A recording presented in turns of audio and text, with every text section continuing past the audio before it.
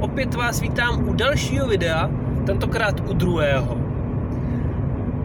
ve kterém si řekneme více informací o našem voze, nebo možná, to se ještě rozhodnu. A rozhodně si řekneme více informací o závodu, kterého se zúčastníme, protože e, minulém videu jsem to slíbil, jemně jsem to nakousnul, i když název toho závodu jsem dal i do popisu. Takže dnes jsme hledali vůz. My ho samozřejmě hledáme už nějaký ten den, nechci říct hodiny, to bych kecal, nějaký ten den. Já jsem jenom schvalovatel, protože můj kolega, můj druhý pilot je daleko zdatnější a techničtější, takže přesně ví, co budeme potřebovat, jaký vůz. Mimo jiné je to profí na terénní auta, takže není nic jednoduššího, než mu veškerou zodpovědnost svěřit, případně mu pak nadávat někde v rumunských horách. Každopádně asi vám to neprozradím ještě, možná, že to dáme do dalšího videa. V tuto chvíli vám prozradím, že to je křiklavě zelený zatím. S luxusním nádechem rezy. A víc jsem neviděl, protože to stálo v trávě. A budeme mít vítr ve vlasech. Ale teďka něco k tomu závodu. Závod se jmenuje Gumbalkán. Jak už z názvu vyplývá Balkán a tak dále, Rumunsko,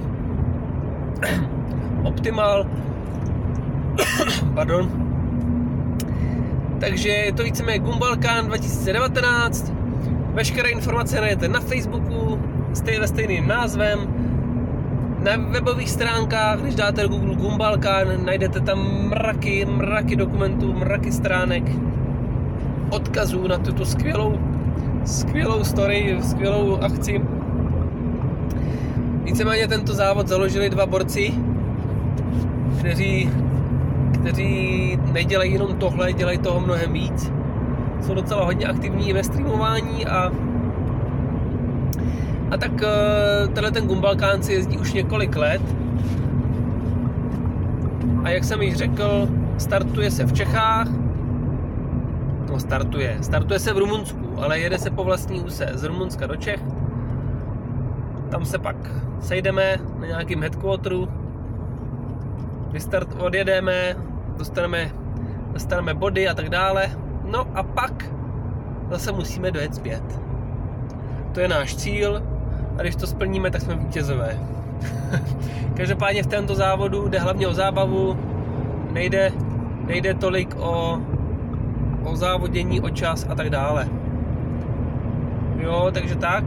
Samozřejmě má to velkou podmínku. Vůz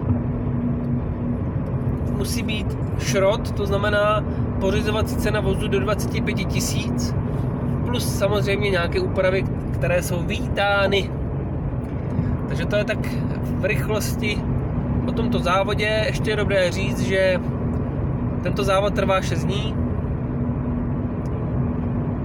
kdy ve většině případech se budeme brodit v bahně, v loužích, na polních cestách. Takže to bude zábava. Jsem na, se rozněl se na to těším. A dneska, když jsme se bavili s mým kolegou Jurou, tak eh, jeho zkušenosti jsou takové, že nemám vůbec strach se tam vydat. Takže to je super a pozitivní. Další video předpokládám, že uděláme po cestě pro nový vůz, jelikož nový vůz je samozřejmě na druhém konci republiky, což je absolutně normální. Zákon spálnosti funguje, tak budeme mít čas něco natočit a pak to zveřejnit. Jak říkám, na našem YouTube Bambino Motorsport, tak to bude na facebookových stránkách. Instagram zatím nemáme a nevím, zda ho tam chci dát nebo nechci, možná jo, uvidíme. Jo? Takže mějte se krásně a skládejte vásně. Ahoj.